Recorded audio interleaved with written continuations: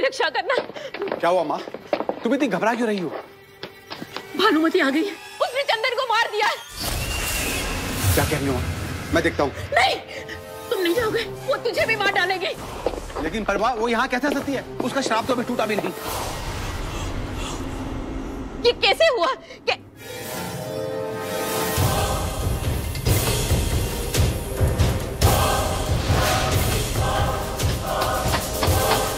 देखो। ये देखो इसने राखी बंधवाई है।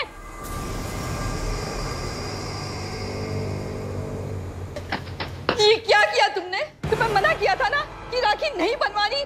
फिर भी तुमने राखी बांधी। हमारे घर में इसने राखी बंधवाई है। भानुमति हम सबको मार डालेगी। उसका श्राप हम सबको लगेगा। सबको। ये आप सब लोग कैसे वह में फंसे हुए हैं? रक्षाबंधन श्राप कैसे हो सकता है? हो सकता नहीं। हुआ है। रक्षाबंधन वाले दिन ही उसने राजा विक्रमजीत को मारा था। आज वो तुम्हारी वजह से फिर वापस आ गई है। आते ही उसने चंदन को मार दिया।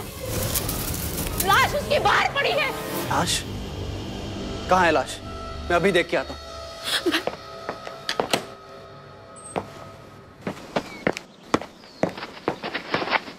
कहाँ है लाश? हाँ, वो देखो। बताइए कहाँ है लाश? कुछ भी तो नहीं है यहाँ। चला गया यहीं पे तो था। मैंने अपनी आँखों से देखा था। अब... रुदाली के बिच्छू ने खा लिया उसे। रुदाली हाँ भानुमति रुदाली है। उम्र पर प्रेत आत्मा बन गई है। दादी जी मेरी बात सुनिए। अगर कोई प्रेत है तो वो मुझे मारना चाहेगी ना? क्योंकि राखी मेरे हाथ में बंधी हुई है। तो फिर बताइए कहाँ है भानुमति कहाँ है?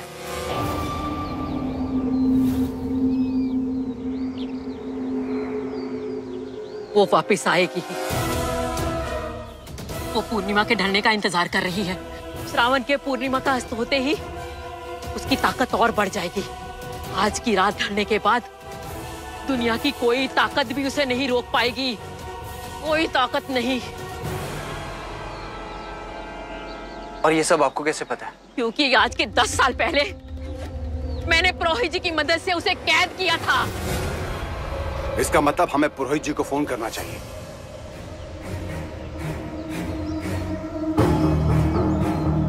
पुरोहित जी नमस्कार। पुरोहित जी मैं विजय सिंह बात कर रहा हूँ। लगता है भानुमति की प्रेत आत्मा वापस आ गई है। जी। ठीक है। पुरोहित जी पूजा के सिलसिले में किसी दूसरे गाँव गए हैं तो उनको आने में देर हो जाएगी। मैं कहता हूँ हमें तो इन दोनों को बाहर निकाल देना चाहिए। शायद हम श्राप से बच जाए। ठीक है अंकल जी। अगर आपको ऐसा लगता है कि हम दोनों की वजह से आपके घर पे परेशानी आ गई है तो हम दोनों यहाँ से चले जाते हैं। नहीं तू कहीं नहीं जाएगा। ताजी आप हमेशा कहते हैं अतिथि देवो भव ये मेहमान है हमारे। तू कहीं नहीं जाएगा। इनके जाने से कोई फ़र्क नहीं पड़ने वाला। क्योंकि हमने इन्हें पनाह दी है। और हम सब उसकी नज़रों में शापित हैं। हमारे घर में सब कुछ हुआ है। वो आत्मा हमें छोड़ेगी नहीं। अब तो पुरोहित जी हमें बचा सकेंगे। लेकिन उन्हें आते हुए बहुत रात हो जाएगी। ये श्रावण पूर्णिमा की रात पता नहीं कैसे कटेगी। कैसे कटेगी? चलो चलो। सब अंदर चलो। चलो।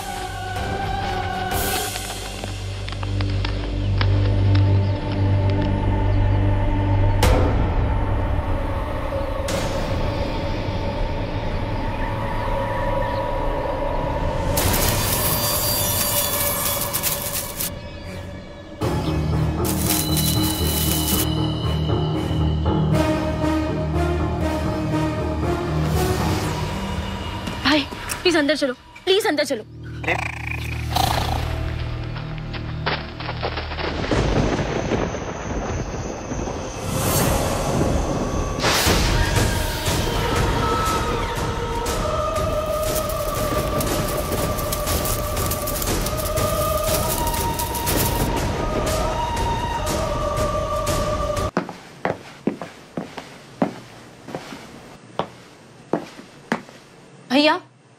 राखी बांधने से यही सब होगा।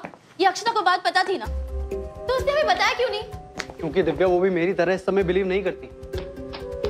दीपक दीपक विवेक भाई अपने रूम में नहीं है। वो कहीं मुझे मिल भी नहीं रहे मुझे बहुत डर लग रहा है। तुम परेशान मत हो उससे कुछ नहीं होगा। काम करो तुम इसी कमरे में रहना कहीं मत जाना। मैं उसे ढूँढने चाहता हूँ ठीक है?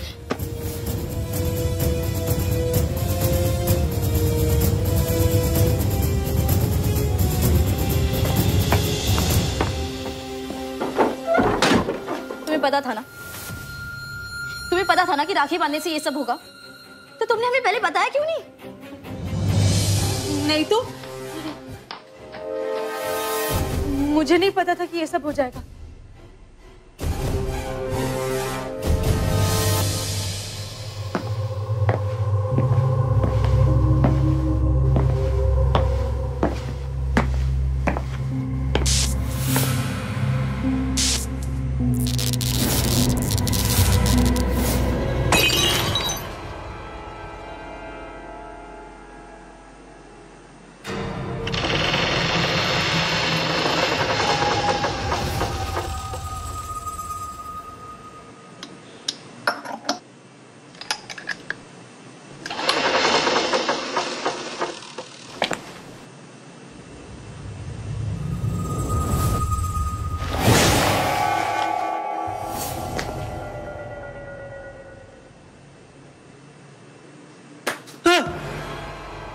विवेक तू तू ठीक है ना?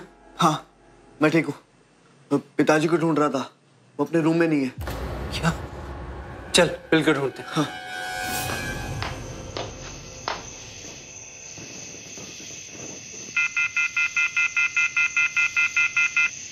नेटवर्क क्यों नहीं मिल रहा है?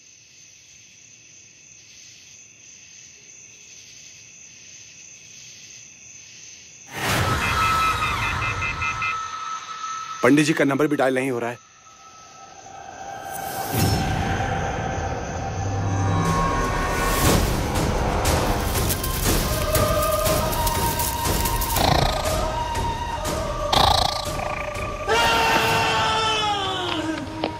ये पिताजी की आवाज़ है। तू यहाँ देख मैं यहाँ देखता हूँ। ठीक है।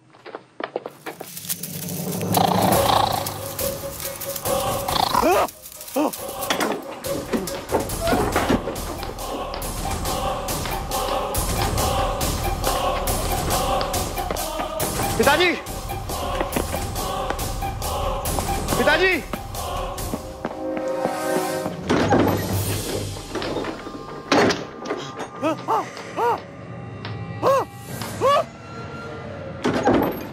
कल जी अभी हाँ।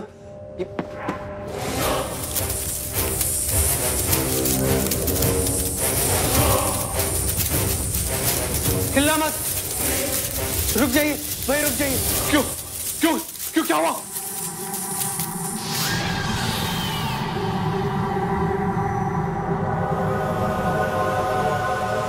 अंकल जी आपके पीछे। अंकल जी! छोड़ दो रे छोड़ दो रे